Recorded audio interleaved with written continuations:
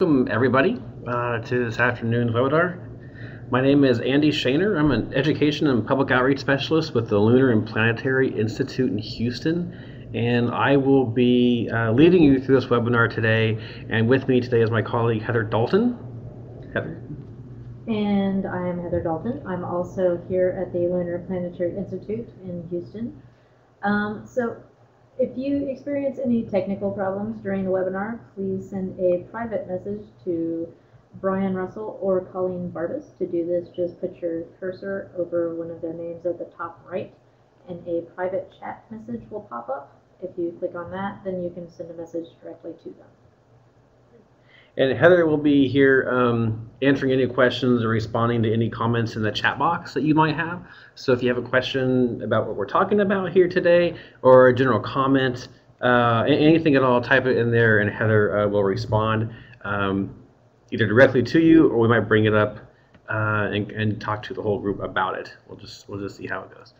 So uh, with that, I don't want to say too much more, um, but uh, well, a little bit about LPI. We are a small uh, private research institute uh, focusing on mainly planetary science, a little bit of earth science.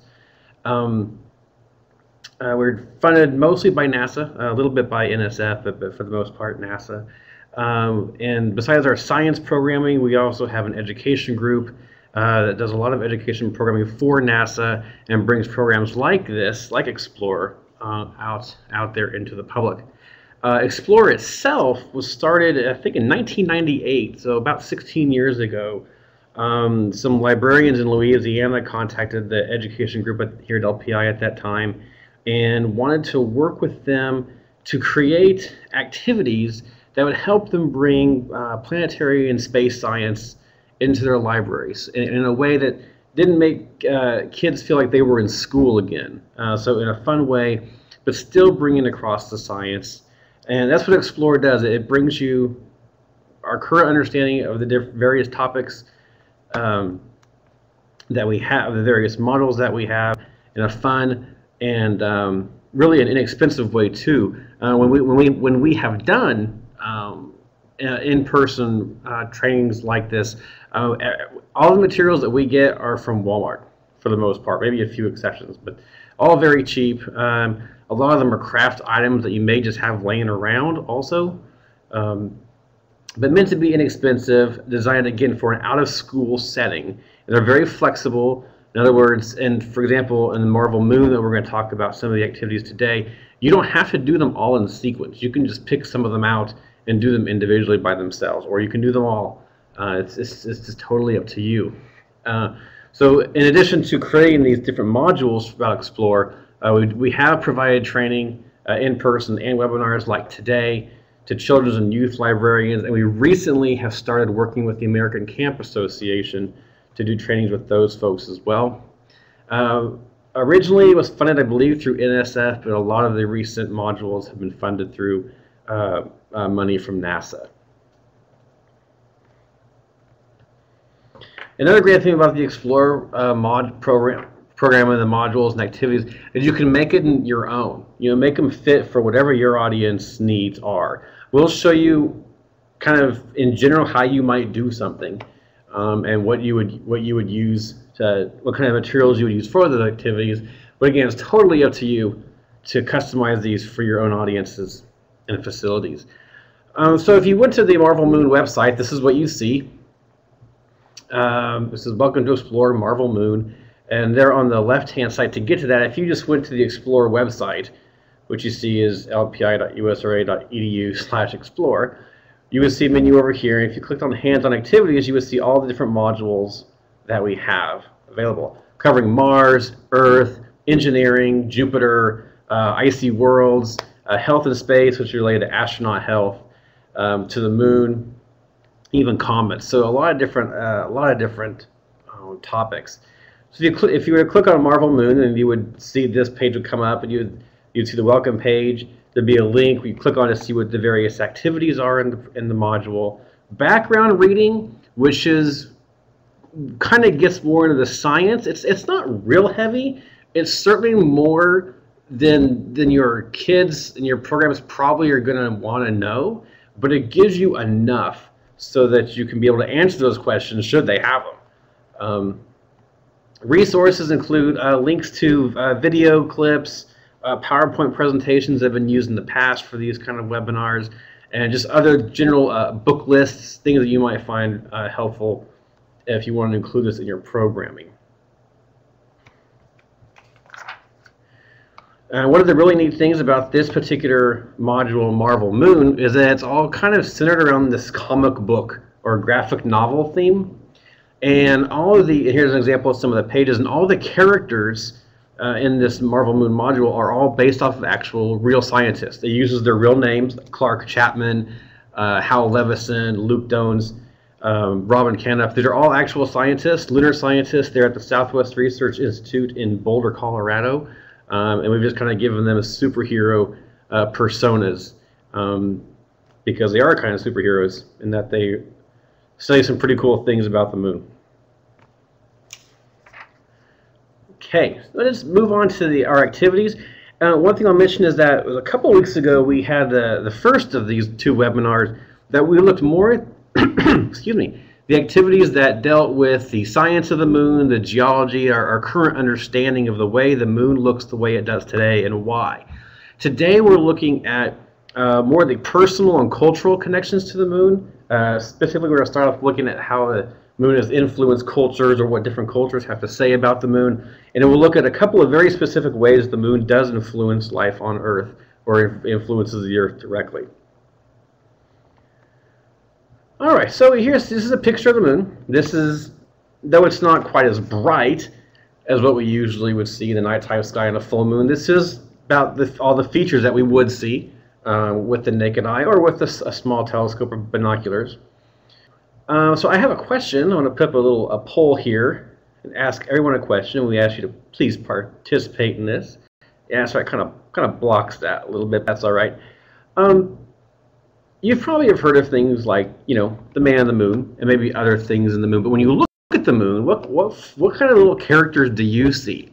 So go up there and check one of those, and I think you can maybe be able to check them all, or, or two, or, or just maybe just one of them. What what have you seen? What different shapes do you see when you look at the moon? It's obviously is getting at some cultural aspects of the moon, and yes, different cultures do see different things in the moon. So a lot of people, about two thirds of us, have heard about the man on the moon. That's that's pretty common. Squirrel and the poodle, yeah, that's yeah, that's that's. It's funny how you may have never heard of these, but when you see the word, and all of a sudden the thing kind of pops out on the moon, do you? Okay. Okay, great. Well, thank you. And about a quarter of us, or five, about a fifth of us, the rabbit in the moon. Yeah, there's a couple different stories about that, and we'll we'll see we'll see that uh, here in a second. Well, thank you. Great. Yeah, so they're actually all different. Uh, well, the first three are um, there are uh, stories those. The fourth one actually is something that one of our scientists likes to talk about and is, has has drawn pictures of. Um, we uh, have asked that question to uh, kids that come to LPI to participate in some of our family days that we have here, and we, we get them a picture of the moon and ask them to draw what they see. So here's, so here's some examples. Somebody once, oops, somebody once saw Aladdin's lamp the smoke coming out. Looks like um, a little kid playing baseball, maybe, or, a man walking his dog. So all kind of things. It's kind of like looking at clouds. Uh, so there's an activity. What do you see in the moon? And this activity stresses that the moon is and has been important to many cultures. Um, it's also points out the moon is accessible. It's right there in the sky. Everybody can see it. Almost everybody knows what it is. Almost everybody knows it has different shapes at different times of the month. And so it, it's there. Everybody's familiar with it. And this activity can be a standalone. Again, like I said, you can use it. Maybe you're having a night sky viewing, um, or you want to do um, part of the activities we talked about a few weeks ago and bring it in as part of the Growing Up Moon series. A lot of things you can do with it. It's totally up to you how you want to incorporate this. So there's a, a sheet in the comic book that has you a picture of the moon and gives uh, kids a chance to then outline what it is that they see in the moon and maybe tell a story about what they see. So I'll just bring up that the Chinese have, have this story of a jade rabbit and a frog on the moon. I'm not really going to go into that story in particular. It is an interesting story, and there are several different versions of it uh, if, if you look into that. But I do want to point out that, you know, at least in the American space program, a lot of things that we name our spacecraft after, particularly during the early days, had to do with Greek mythology or maybe even Roman mythology. But the Chinese have gotten into the space game uh, recently, and they put a lander and a little rover on the moon, and they called it Chang'e. And Chang'e is the what turned out to be the frog uh, on the moon, and the Yutu was the uh, little rover, and that's the jade rabbit on the moon. So they took their own culture and their own history um, and applied that to their exploration of the moon. And this picture is just uh, it's uh, within within the past five months. It's, it's a pretty relatively new picture. All right, I want to show you a few more slides here. Uh, a fact or fiction, what have you heard about the moon? So again, sticking with the, you know, the cultural uh, aspects of, of, of the moon. So let's bring up a few more polls here. Okay, true or false? Getting your hair cut during the full moon will make it grow faster. Is that true or false? Have you heard that? Or do you experience this and know it, believe it to be true or false?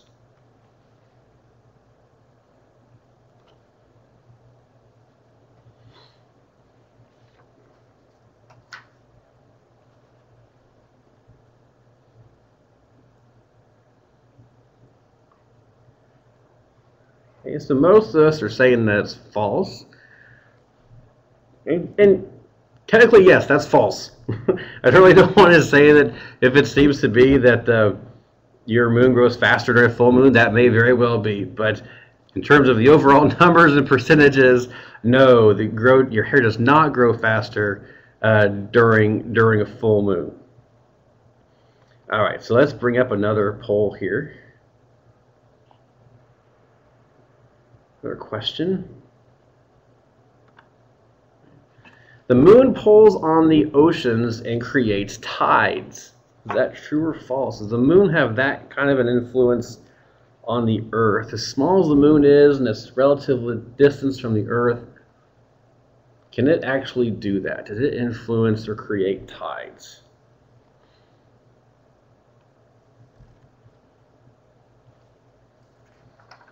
And so far, this seems to be an overwhelming majority, everybody says it's true, and that is that is true.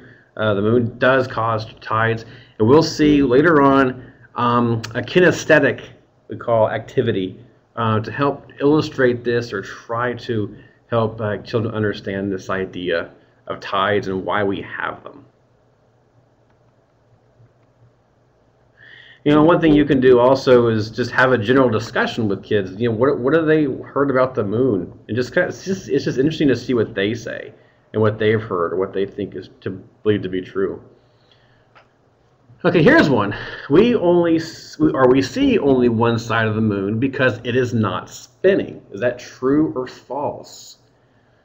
It's true that we see one side of the moon. When you're standing here on Earth, and anytime you look at a full moon, you always see the same side. But is it because the moon is not spinning? That's the key part. That's the true or false we're looking at here. The moon is not spinning. Is that true or false? Is that why we only see one side of the Earth?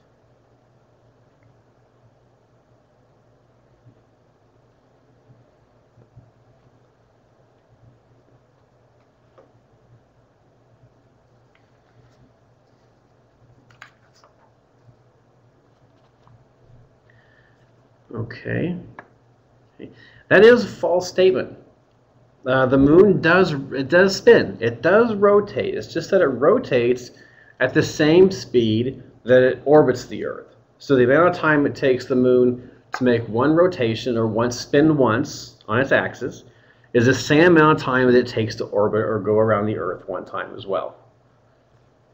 So it's just an interesting uh, phenomenon that actually occurs right now um, earlier on, you know, a long time ago in solar systems history, it, it spun faster, and it will it has continued to slow down its spinning. So in the Distant future it will spin even slower, and it will also be getting farther away from us.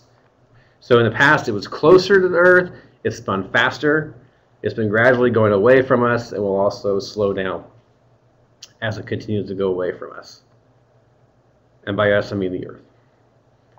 All right, got a couple of more here.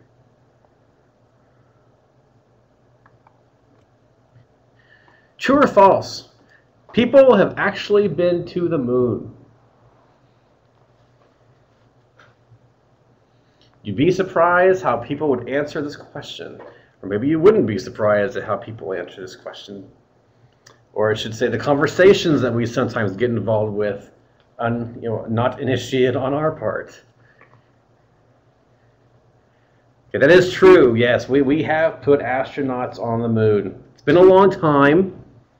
Okay, so that's kind of part of the problem, especially with little with kids. Is it's been so long since that happened um, that it's it's just it just seems so out of reach for them. and, and and you know we see NASA today that doesn't appear to be as productive and is not putting people on the moon or or on Mars or any other solid body other than the Earth. That it just seems kind of hard to hard to believe, but it is true that we not only put two, we put twelve on the moon. Would have had 14, but there was that unfortunate accident with the third mission, Apollo 13, that was supposed to land men on the, land the astronauts on the moon. Great movie, Apollo 13, if you want to learn more about that. Okay, just a couple more. Oops. True or false? More babies are born during the full moon. This kind of goes along with the idea of there's more rest during the full moon or emergency rooms and hospitals are busier during a full moon. True or false? A little, little more split on this one.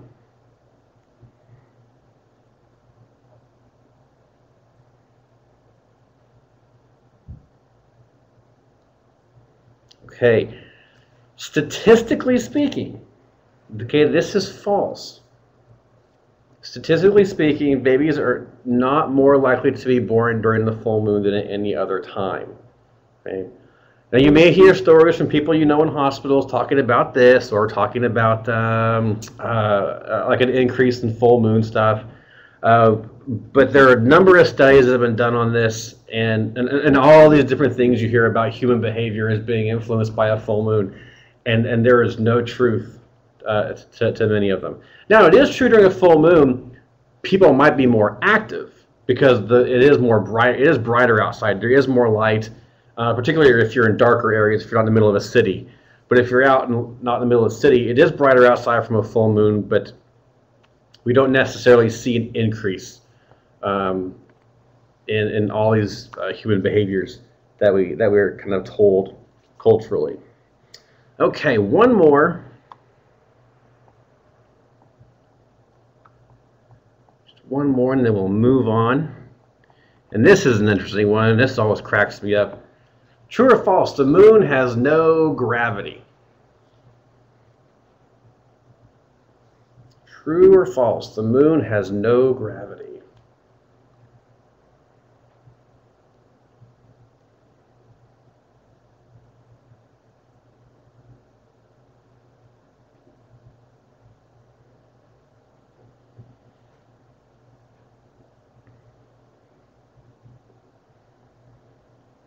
Okay. Okay, this particular statement is false. The moon does have gravity. Um, to see a simple example of that, as long as you believe that we really did land astronauts on the moon, look at a picture of them. They're standing on it. If the moon didn't have gravity, they wouldn't have been able to stand on it. They would have just taken a step and floated right off of it. Now, the moon's gravity it's um, the force of gravity. So the force of the moon's gravity that pulls on objects is smaller than the Earth's. It's much smaller. It's about a sixth of the Earth's, but it does have gravity. Okay.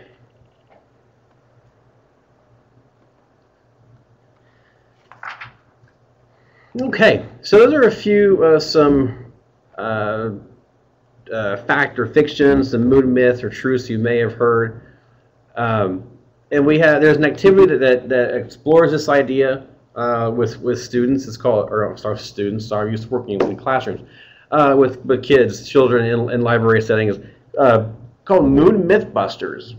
Okay, so there's a lot of urban myths or miscon- and misconceptions that exist about the moon. We just saw some of those. Um, and this looks at some of the more common myths um, and gives them a chance to, quote, bust them. Uh, there are web resources also within the activity write-up.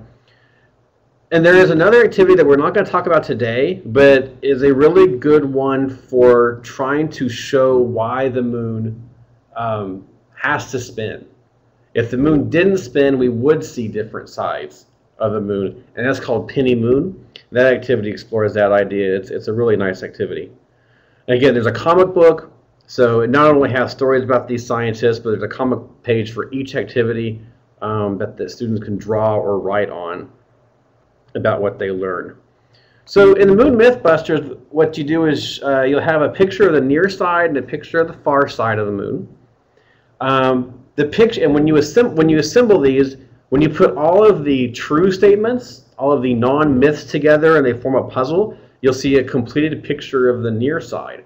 And when you and if you correctly put all the false or all the myths in together like a puzzle, you'll see a completed picture of the far side of the moon. And that's what we see here. So if you do this correctly and you put all the correct statements together, you have what we call a true blue blue moon. So all those statements on the left, those are all true and it creates a uh, picture of the near side. And if you put all the incorrect or the myth statements together, you'll get a complete uh, you'll get a complete picture of the far side of the moon, or the far out far side. Which brings up another point: there is no dark side of the moon. Okay, there there is always a dark side of the moon, but which side of the moon is dark just depends on where it is in its orbit around the Earth. But there is always a near side and a far side. So it's more saying the the dark side of the moon is not correct. Sorry, Pink Floyd, it's a rocking album, but it just doesn't work. All right, getting to know our neighbor is just a way to get a little bit more know more about the moon in general in terms of its size and its um, why it's so bright. It's so size, distance, brightness, all that good kind of stuff. So Earth's bright neighbor. So from our position here on the Earth, the moon is the biggest and brightest object in the night sky. That is when it's actually up at night, which is about half the time. Um, but we don't really have a, a, sense of how far away it is and how much space is between the Earth and the moon, right? and how big or how small is the moon compared to the Earth and the sun. So we can use scale models to help us try to better understand these sizes and these distances. All right, so let's take another poll.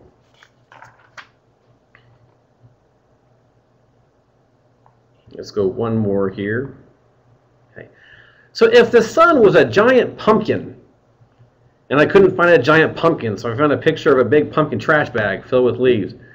If it was a giant pumpkin like that, how big, let me bring up the poll. If the sun were a giant pumpkin, which of those would represent the Earth? So to scale, if the sun was this giant pumpkin, what, how big would the Earth be?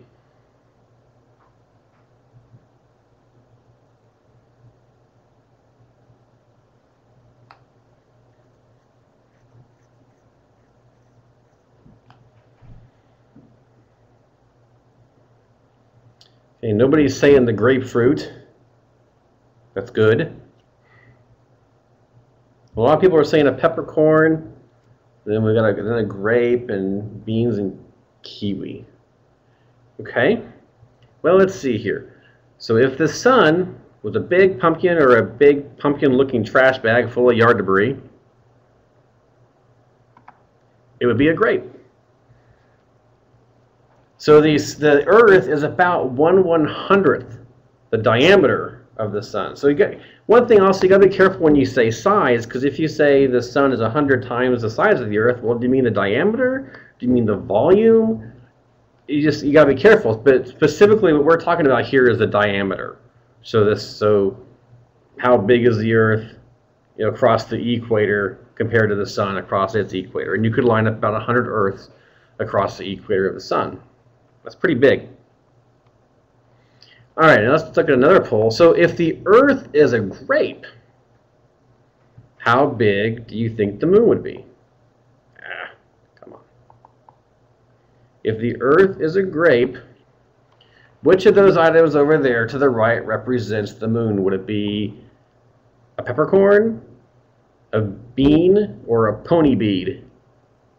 Well, kind of about the same size, so this is a little bit more tricky. But if the Earth was a grape, how big would the moon be?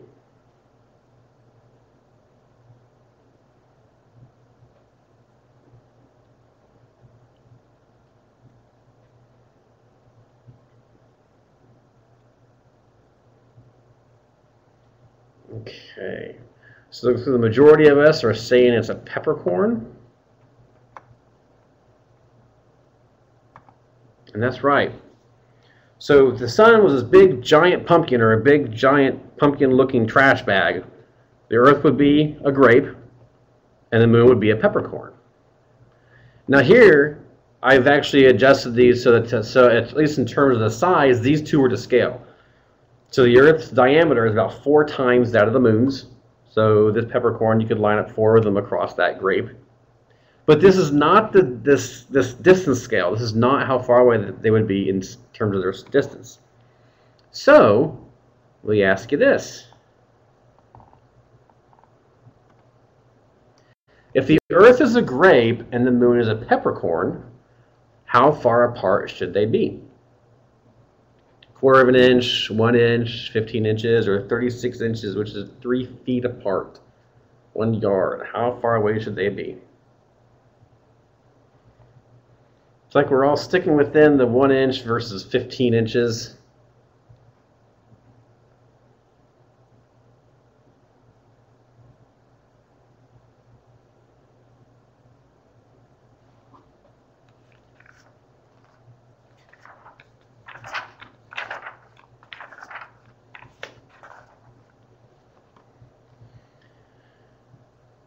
Okay.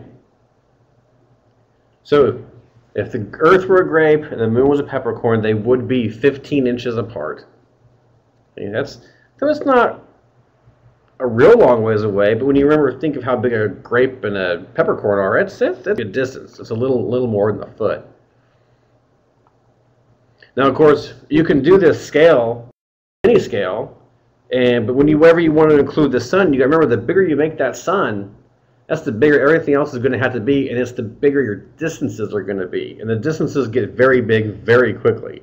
So best maybe stick with this particular model with a big pumpkin, a grape, and a, and a peppercorn. So here's a comic book page. Here they can draw the moon, earth, and the sun, um, making sure that they're the correct size to each other, but that's very difficult to do um, at least on this piece of paper. You could do the Earth and the Moon. You can, probably couldn't do their distance unless you made them really small. Um, but I think they get the idea. Okay, so then going on to an activity we call Mirror Moon. And this does bring up another question I'd like to get everybody's thoughts on. So true or false, the moon makes its own light. So when we look at the moon, a big full moon, big bright full moon, is that light being produced by the moon itself? And that's what we mean when we say the moon makes its own light. Is it producing its own light?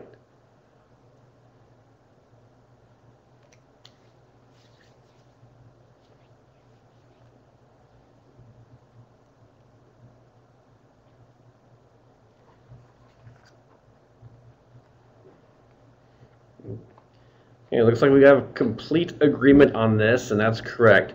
That is, that statement is false. The moon does not create its own or make its own light. It is reflecting light from the sun. Within our solar system, the sun is the only thing that generates its own light, for the most part. Uh, visible light that we can see. Everything else reflects it, which is why we see them, because they're taking that sun, light the sun produces, it bounces off and it makes it here to Earth, makes it into our eyes, and we can see them. Uh, so again, the moon is the biggest and brightest object in our in our nighttime sky. That is during the day, of course, it'd be the sun. Uh, the moon shines by reflecting the sun's light, like we like we we said. It does not make its own light, but the moon actually only reflects less than 10% of the sunlight that reaches it. So it's a very dull gray. Um, but even that 10% is enough to make it really, really bright on a full moon. So we can use another model just to kind of help explore this idea. What you'll need is a flashlight, a tennis ball, or maybe like one of those foam craft balls you can get like at, at Michael's, um, about the size of a, of a tennis ball, just something about that size, that's round, and a sheet of aluminum foil. Just you know, really something just big enough to be able to cover that tennis ball or whatever spherical object that you have to model what, what the moon is. Uh, and then you need like a dark room or a, a darkened room. And you can probably guess what you do. You simply just shine the flashlight. You put the aluminum foil around the ball, shine the flashlight on it, and in a darkened room, you can really see how that um, that part of the moon, the light shining on it, reflects quite a bit, and the other side um, has nothing to reflect at all, uh, unless there's some kind of ambient light coming in through a window or a door or something. But you'll certainly see how one side is certainly brighter um, than the other. So the aluminum foil by itself, just sitting there in the room, doesn't reflect anything, again, unless you have light coming in through a window or something. Um, but when you put that flashlight on it, it really it really reflects on that one side. Okay. So one of the questions that sometimes people ask is, what if there were no moon? You know, what would be the consequences of that on Earth? Um, and there, there would be some consequences, and we'll explore those in a, in a second. Uh, but we want to look at a couple of activities that really do get at how does the moon really influence, um, uh, really influence the Earth, and not just the, you know what we think it does. Uh, both of these are we call kinesthetic activities or mo active models of how the Earth and of Earth's and Moon's mo Earth's and the Moon's motions in space. Um, these are better suited for kids who are 10 and up. Younger than that, um, some of them might be able to understand this, but when you're dealing with these kind of three-dimensional kinesthetic models, younger kids quite aren't ready for that developmentally. That doesn't mean none of them can. Some of them might be able to, and again, that's that's up to you and, and knowing your audience if it's something that they can do. But we'll show you some things you can do with the younger ones uh, when we get that. We'll go through these. Okay, the first one is called the Dance of the Moon and Oceans. And this gets at the idea of tides. Um, like we had in our question earlier, we asked that the moon, yes, the moon does create tides. And that's what this first activity is trying to model. Um, what is happening to the earth and the oceans that creates tides. Uh, this is just a real great example. The Bay of Fundy, this is in Canada where you on the picture on the right shows you low tide in this bay, or sorry, high tide in this bay, and the picture on the right is low tide. So this is a really extreme example of uh, what can happen during a high and low tide. So tides simply are caused by the gravitational of the moon pulling on the oceans and the earth as it orbits the earth. So that's what this activity is going to try to model. So you would need, what is that, one, two, three, four, five, six people. Uh, you would have one person would be the moon or the sun, as you can see there in the lower right. And on the left, um, you would have one person in the middle that would represent the earth, the solid earth, and then four people around them. And they would represent an ocean or a body of water. And this is a very simple, very simple model of what's happening uh, that, that create that causes this phenomenon that we call tides. And nothing about this is, of course, is to scale. Uh, this picture of the guy playing the moon and the sun is uh, bigger than the people playing the earth and the oceans, but not that much bigger. All right, so here we see the moon here on the right-hand side in a gray shirt. Here we have the earth. She's wearing a brown shirt, I believe. You could have him wearing a green shirt too.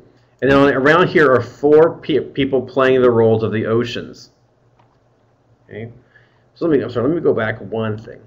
So the thing about tides is that they're created because, like we said, the moon's gravity pulls on the Earth, but also pulls on the oceans.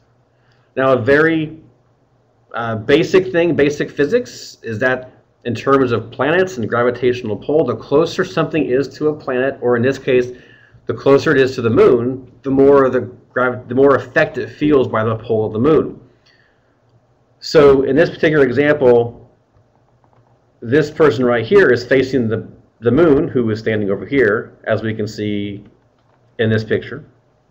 Let me explain how they got to this position in this picture, though. So this person here in the front, this ocean, if you will, is going to be more influenced by the moon's gravity because they're closer. So what they will do is take three steps forward. Now behind them, the solid Earth and these two oceans who are on either side, they will be less influenced by the pull of the moon simply because they're farther away. So they will then take two steps forward. And this ocean in the back will also be pulled on by the moon, but less so.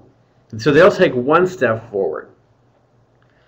Now, the, the Earth also, like I said, also moves with them. So, in a sense, as the Earth steps forward, it sort of leaves the ocean back here. It kind of leaves it behind.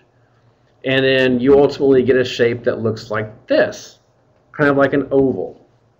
But you can see the, the ocean that was closest to the moon has moved up quite a bit more. They've moved up two steps. You clearly can't tell. And this ocean is left kind of left behind.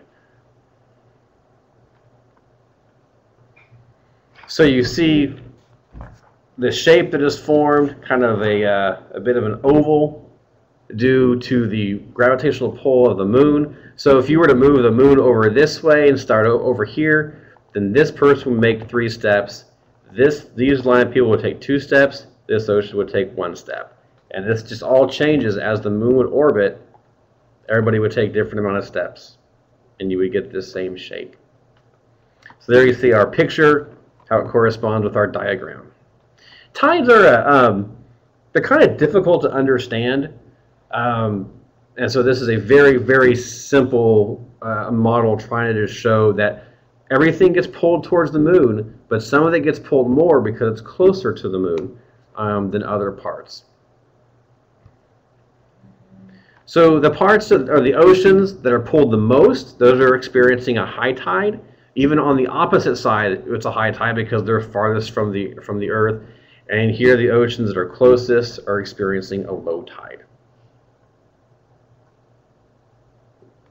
And then as the Earth spins, the tides will flow in and out and just in a pattern. Okay, and if there were no moon, if there were no moon, would we still see this phenomenon?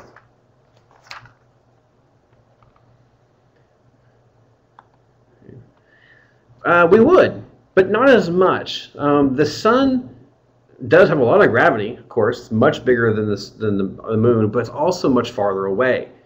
So while the sun's gravity would uh, pull, does contribute to our tide, it's only about a third of the amount. So you could do this same exercise with somebody being the sun, but everybody would just take smaller, would take less, with fewer, or smaller steps. And you would still see tides, but just not, not the same magnitude. That's with no moon.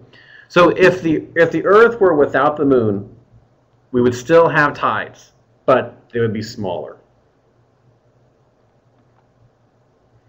So here's in the comic book where uh, kids can uh, draw the effect the smaller tides might have on sea life, boating, or a visit to the beach.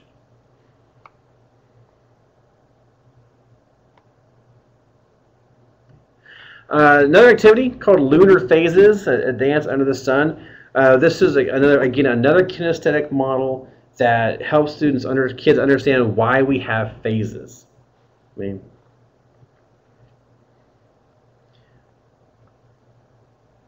there's a very common misconception, um, even among we've they've they've interviewed you know college graduates you know at Harvard about this. You know why why do we have phases? And, and they talk about well because the moon is passing through the Earth's shadow, and that creates phases, and that's not right. That helps create. Uh, I. Sorry, it blanked on me. Um, eclipses. um, but not not phases.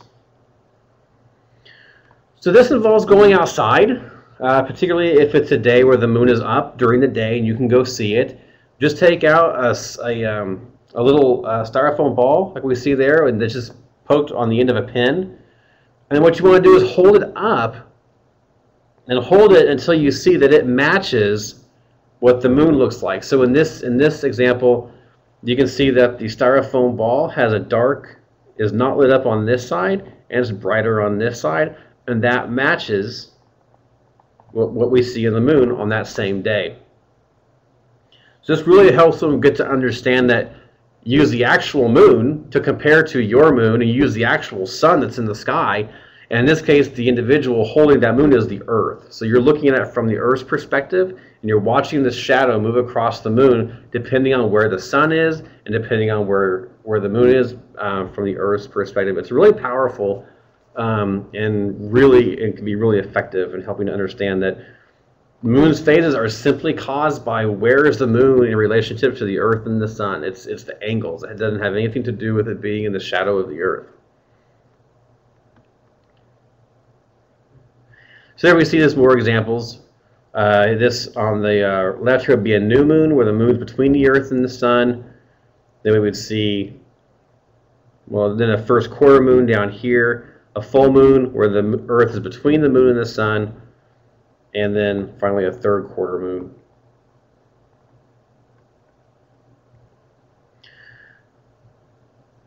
Now, if you have younger kids, it's sometimes it's just um, kind of best for them just to know that there are phases, and what do we call those phases, and what do they look like?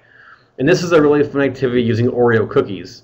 Uh, you can do this using six cookies um, the idea is to simply, you know, twist open a cookie and make sure that all the frosting stays on one side.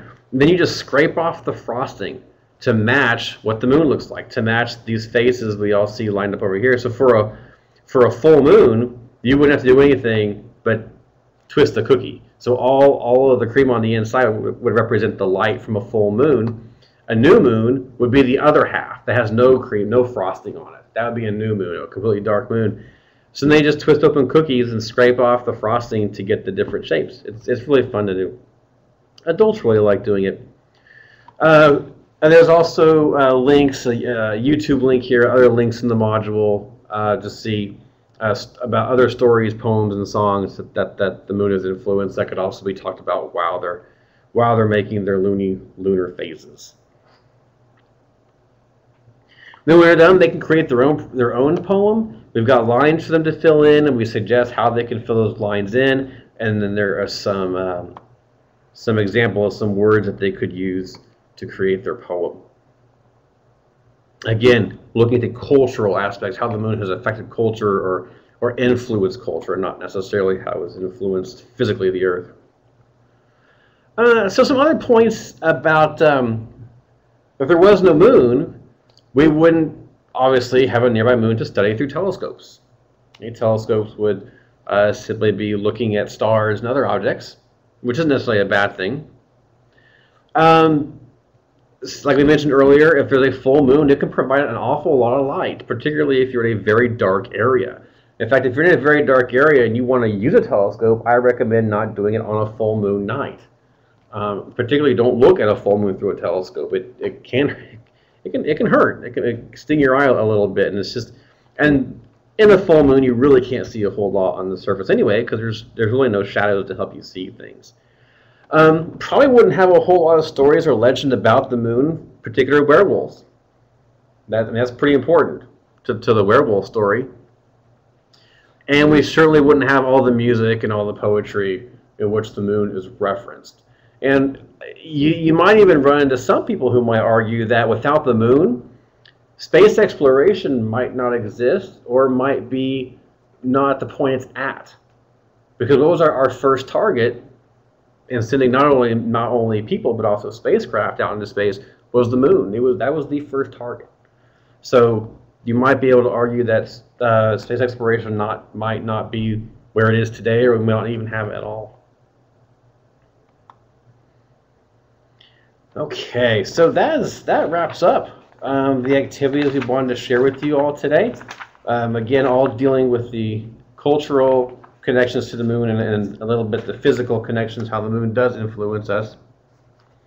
Um, and I have a question. Can you do it in the cold or the hot? Is that referring to the um, uh, sorry, it's losing me. Are you referring to like the, the lunar phases activity where you're outside and you have the uh, styrofoam ball and the pin?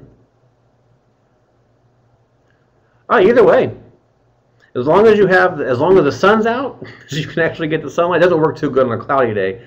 But as long as you got the sun out, um, and you can see the moon in a, in a, it's in a phase that it's up during the day. That's another thing people don't think you can see the moon during the day, but you actually can. Um, so just double check make sure the moon's in the sky that day and that the sun's shining. Doesn't matter if it's cold or not. To us, it doesn't matter. now, your kids may not want to be up too hot or too cold, but uh, but that, that that's up to you. And one thing I also say, if you're not too sure about where to look or, or where to check to see if the moon's going to be up on a particular day, contact your local amateur astronomy group.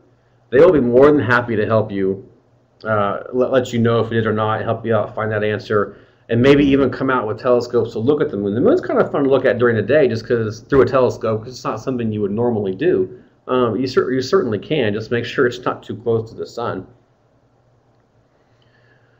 So if you go to our, uh, our website there, explore, the Explore website slash Marvel Moon, uh, like I pointed out earlier, the background information and resources. Uh, how many sessions do you think we need to complete the activities? Um, there are recommendations for each each each activity has its own write-up with acti- with a materials list and a buying list and all that kind of stuff. It has it has a recommendation recommended time in them. So again, you can you know do the full activity as it's written up and probably get it done in the time as that's recommended, or you can shorten it and just do certain parts to make it as long as you need it. It's totally up to you how you, how you want to do this. Um, you know, the the, uh, the dance under the moon that could or under the sun that could take a while. Just trying to get everybody to see what they need to be seeing and, and understanding. Uh, the the lunar tides dance that could take a while too. Um, it's it's just it's really gonna get to you, and you you know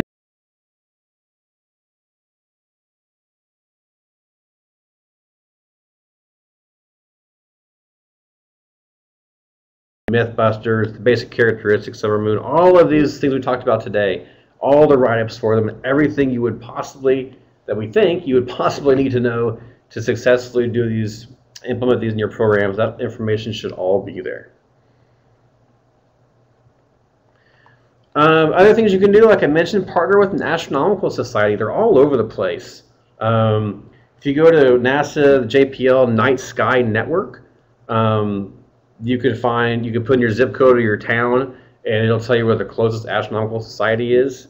Um, and in the Marvel Moon activities somewhere, there should be a link to take you to that and let you and let you find the local society. They're always eager to help. Um, they like, they love doing this kind of a thing. So don't don't be shy uh, in trying to contact them.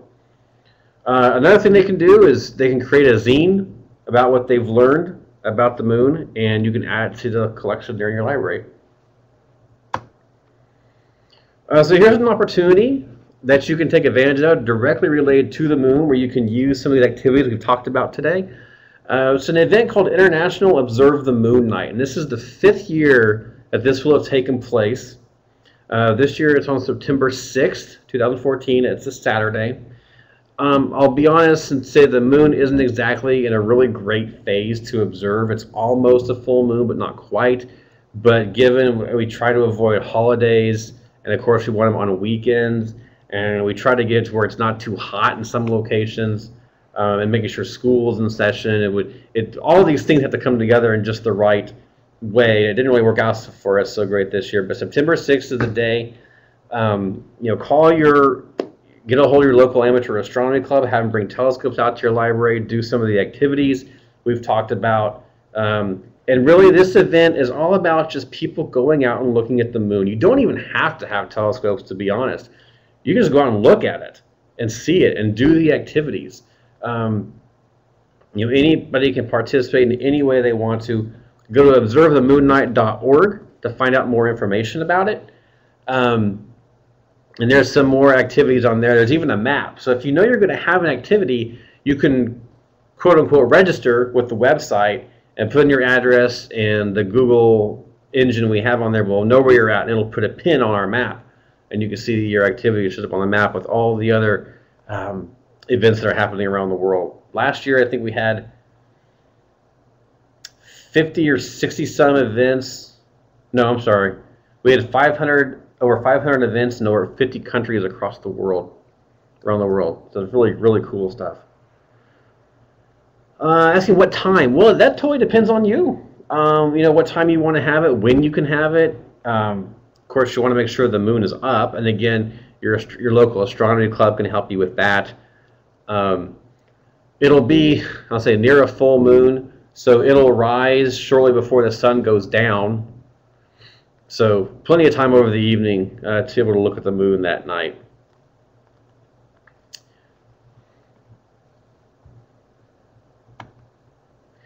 Uh, another resource to look at if you want some more information, um, not just about the moon, but other uh, activity uh, regarding other uh, planets, you can go to what was called the Year of the Solar System. This was a NASA um, program that ran for a couple of years, and it's still kind of ongoing. But if you go here, you can look up different activities by topic and by uh, you know um, like informal ed or formal ed type type of venue. Lots more you can find there. In addition to that, there's something that really just came out the past few months called NASAWavelength.org. Here you can find more resources, STEM, science, technology, engineering, and mathematics resources, not just about planetary science, but also more astronomy related or the related to the sun or related to earth science. Um, very simple search engine there. Again, you can look up by, by topic. Uh, you can look up by audiences, you know, again, informal audiences, formal education, all that kind of stuff.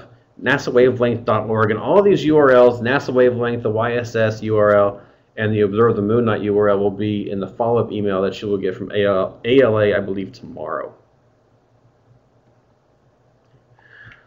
Hey, does anybody have any uh, lingering questions eating at them they want to ask?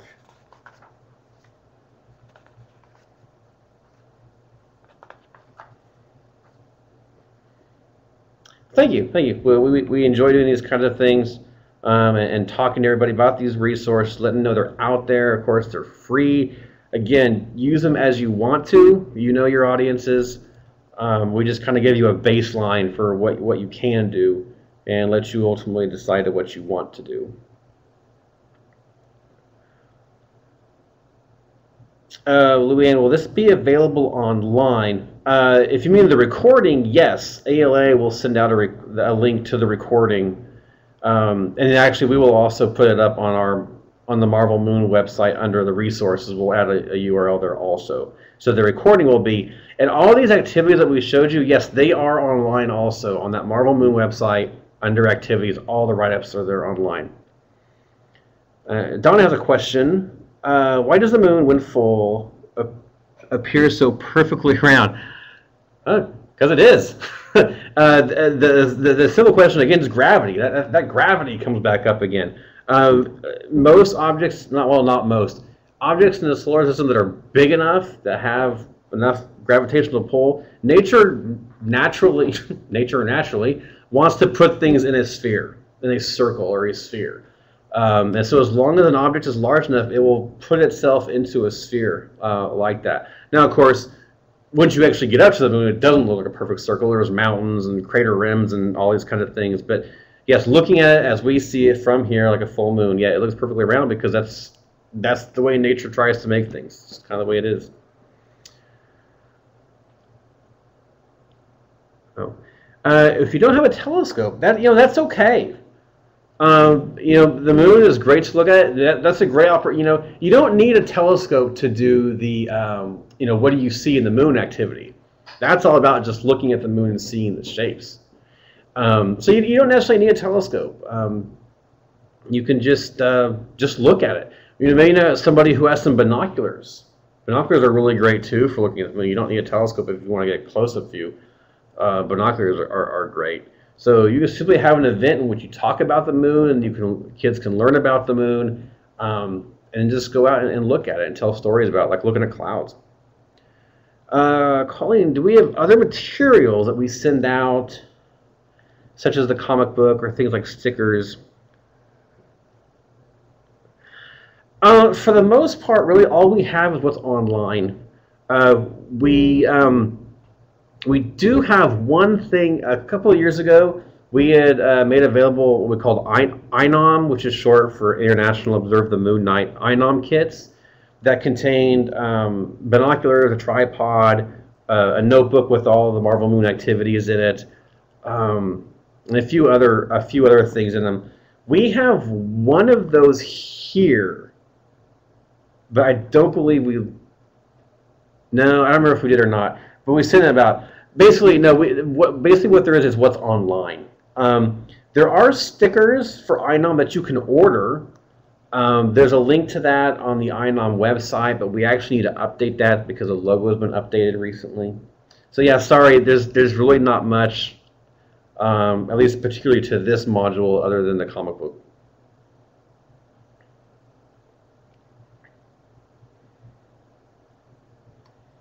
Okay, so just a few more minutes, about ready to wrap up. Anybody have any other questions?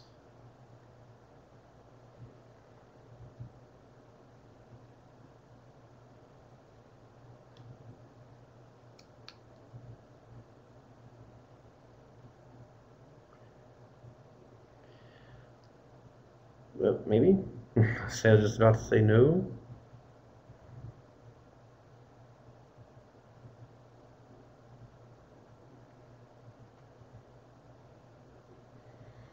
I want to thank you all for hanging out, hanging on with us um, for the, during this hour, and for joining us. And hope you guys make good use of of the materials. Um, if you ever have a question, uh, you can send an email to explore at lpi.usra.edu, and we'll be happy to help you out any way we can. All right. Well, again, thank you everyone for joining us and uh, hope to be here from you soon or just hope you have a good time and are able to use these materials.